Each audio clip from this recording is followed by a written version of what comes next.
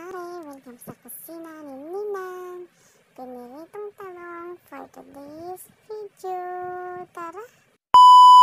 Oh, ito nga pala maring ating mga ingredients. Mga mare, atin na rin sisimulan.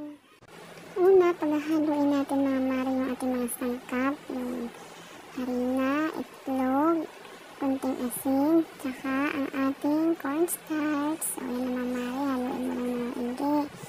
hanggang sila ay mag-mix ng ayos. Sunod naman natin mare ang ating talong, ating hiwain at ating itong babalatan. Mga mare, alit ang aking talong ay pinitas ko lang sa aking dinaanan kanina. Mga mare, wala kasi tao kanina kaya hindi lang nakapagpaalam. Ay sana'y ay mga mare eh, hindi pa niya naispirahan kung hindi, utas na maglason. Ay sunod mare eh, atin na rin hihiwain ng maninipis laang yan para madami, para madami makakain. Sa mga makakakain na rin talong ko, ay pasensya na ho, bukas ko pa ipagpaalam sa may-ari are. Sa are, ah, haluin na natin ng maigi ulit ang ating minixture kanina mga mare para ating sisimulan na ang ating pagluluto. Wari na mare, ating na isasawsaw ang ating iniwang talong. Ang Sunod, pag sawsaw mo diyan, isasawsaw na rin natin sa breadcrumbs. Yan, pagsamasamahin na muna natin lahat para isahang luto ng mga mare. Ayan, kailangan i-sausaw na sausaw ng maigi para i malutong pag ating niluto.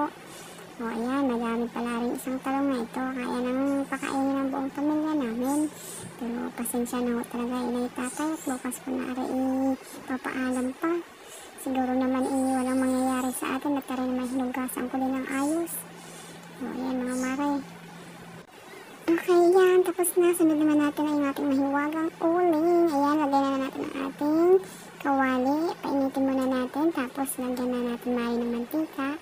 Yung dapat mari yung mantika natin. Pag nilagay ninyo, ay walang tipid-tipid mari. Kahit mga mantika, dapat lubog yung ating niluluto. Para siya ay sobrang crispy. Para nang pag kinain mo, ay malutong baga mari. Yan. Lulutuin na natin lahat. Pag medyo brown-brown na, kung ikaw, kung gusto mo ng tostado, ay ayos lang. Kung gusto mo rin ng sunog, yung akin ay gusto ko medyo ma-brown-brown lang, ay ayos na iyon. Yan, lahat din na natin. Yan, sarap na rin mga mare. Goods na. Thank you for watching. Don't forget to like and subscribe. Thank you. Yan lang mga mare.